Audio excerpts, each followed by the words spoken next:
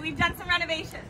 This is our main living space. Over here we have our ice maker and dishwasher. Yes, I said we have a dishwasher in our RV. We even have a double door fridge and all of that is pantry and dishes. Have a fireplace. In the bathroom we have a washer dryer combo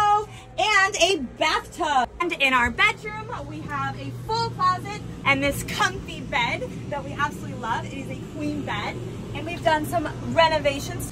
And this is also where I do all of my work. Follow me into the kids' room.